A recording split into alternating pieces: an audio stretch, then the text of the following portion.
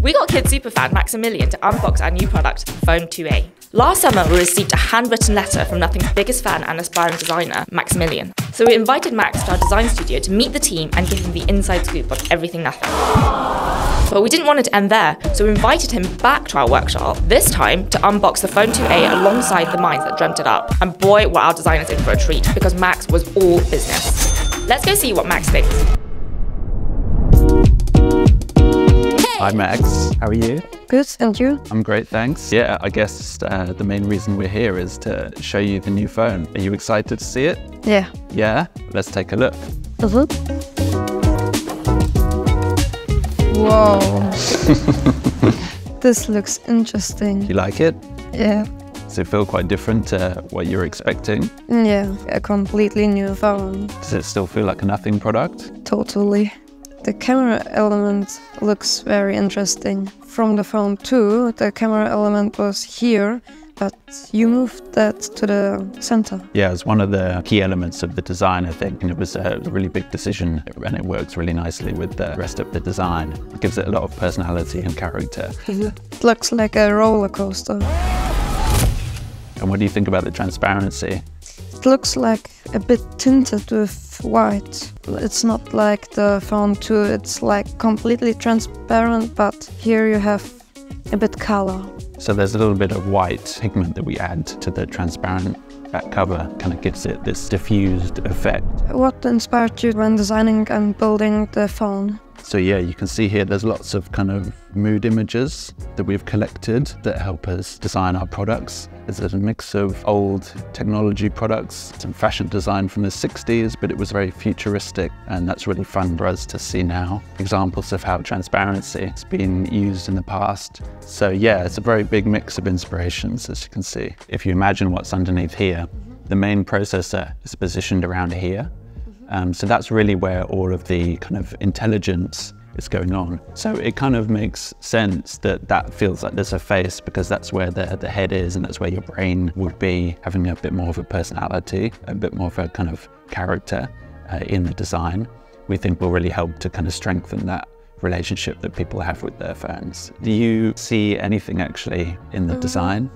Maybe a creature with some imagination, you see something there. And like the buttons, why are they black? We felt like there was an opportunity to do a bit more of what we've done with some of our other Nothing products. If you think about Ear One, that actually has a mix of black and white parts. It kind of ties together the camera bezels with the buttons. Did you make a completely new design or is it based off phone 2? It's a bit of both actually. This is the original design of the Nothing phone.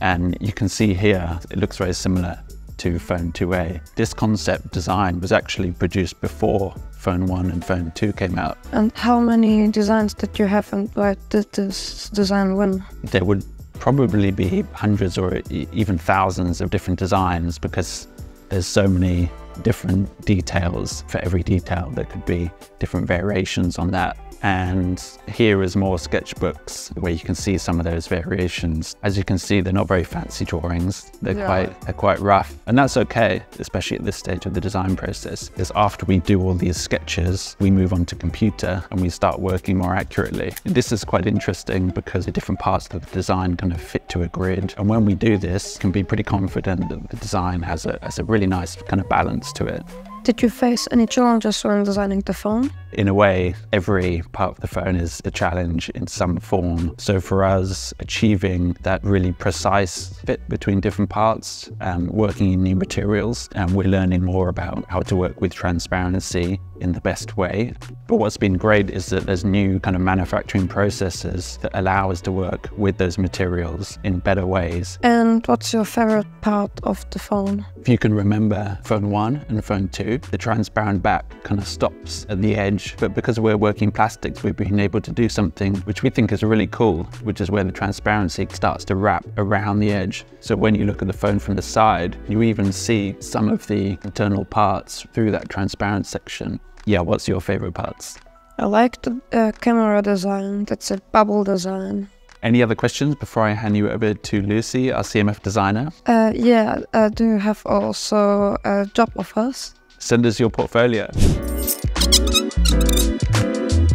Hey Max, I'm Lucy. Hi. I'm a CMF designer here at Nothing, which is colour, material, and finish. Mhm. What have you been up to today so far? I got already the first looks uh, of the phone 2A and it looks amazing. The phone was so light I thought this was just a prototype for the design, but it's a functioning phone. Where do you look for inspiration? Anywhere can you can find inspiration. Sometimes when I'm walking to work, I just see like a pile of trash in the corner, and it might have a really cool colour of some trash, and I'll be there taking pictures of it, and people think I'm completely crazy, but that's fine. How do you pick the colors of phones? Colour is really uh, a kind of personal matter. Obviously, I'm sure you have a favourite colour. Yeah. I don't have a favourite colour. It's a bit like asking who my favourite kid is. So I love all the colours equally. But for something like this, we wanted to evolve the design language that we had already developed and take it in a new kind of direction. So for nothing particularly, the sort of black and white identity is quite important. So here you can see some of the ones in the early stages of developments without their backs on. So we're looking really carefully at the levels of contrast and you know all of these really fine textures and how they're going to look once we put the backs on them because that also changes how they look really significantly. If you could have a phone in any color you want, Max, what color would it be? Like a bluish color, like pastel blue, but also like white and the Multicolored. yeah. Nice. And you? I think for me, that's a really hard question. Um, I saw an amazing old phone the other day that actually matched my jumper really well. So I'm hoping for a 90s revival of lime green. Maybe I'll get AI to do some crazy phones that we don't know what materials they could be. They could be fluffy. Does the phone 2A come also in other colors than white? We are developing some other colours for it, so watch this space for what the next nothing colour is going to be, but I think you're going to like it. The thing that's really cool about nothing phones and our kind of design identity in general is because we have this element of transparency, we've accidentally made way more work for ourselves because if this was just a solid colour, it doesn't really matter what anything looks like under there, but because we've decided to make it translucent, we have to work four times as hard to make sure every little detail that you're seeing is really, really beautiful. What type of finish does the phone have? The main finish that you understand when you look at it as a consumer is the back cover finish, which has this translucent, slightly milky colour to it, and it's also glossy, so it reflects the light really nicely. And then around the mid frame here, this has a textured finish that gives you a bit more of a grip. Mm-hmm. Because if you're holding your phone in your hand and that was really glossy, it might feel quite slippery. So the screen has a glass finish, which obviously is super glossy. The buttons here, those are anodized aluminium. So that means that the aluminium gets like a special coating on it. And it's nice to have a kind of metal touch point. So you kind of interact with that part, you get a real sense of quality to it. How do you pick the material of the phone? So for this phone, we actually tested 300 different types of material. It can take anything from six months, but actually to develop a new material completely from scratch, it can take you up to kind of four years. So we're always thinking about what's coming next and how we can bring in the newest technology to our products. And what's your favorite part of the phone? I really love the back cover. I think the kind of milky finish is really unusual, so it's really nice to see that in tech. Mm, My favorite part is the buttons have contrast to the whole build. Yeah. It's like matte black. Hey Max, I'm Tom. Very nice Nice to to meet meet you. you. Great to meet you. So, what do you want to know? Happy to answer any questions that you've got. Uh, what's your job here at Nothing? We call my job experience design. I'm interested in interactions, in sound, in haptics, and also the kind of digital experiences on the phones, whether that's on the screen, y- via the glyphs, uh, in sound, or in haptics so to your computer. Are the glyphs more advanced? Yes, they are. We've actually redesigned how these are segmented. There's a higher density of LEDs. Importantly, compared to Phone 2, which I've got in my pocket, Phone 2 had 11 segments, which we used to sequence our big features, ringtones. We've actually only got three segments on the new device. And the reason for that is we, we want to make these features that we've managed to package on Phone 2 available to more people. So we've made the absolute most of each of these three segments on the new device. So if I, maybe we can compare a couple of them for fun. Uh, for example, Dolphin use all of the, the glyph segments. So myself and Joseph had to kind of work out how we map some of the more complicated ones. So on here,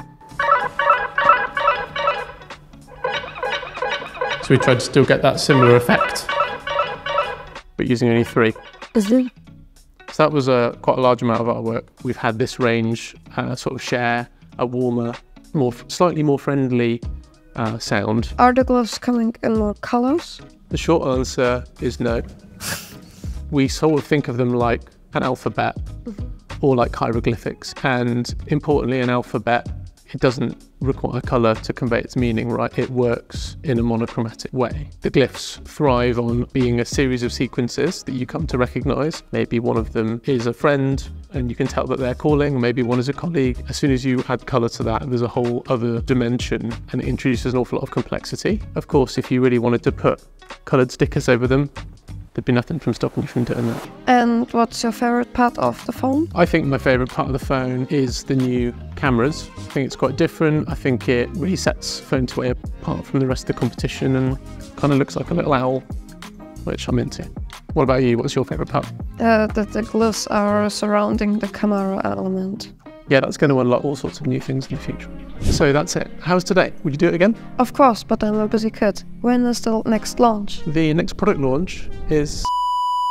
Cool. See you soon. Thank you. Thank you. Thank you for coming. Lovely to meet you. You too. And hope to see you again. Am I, is this, am I the last one? Are we?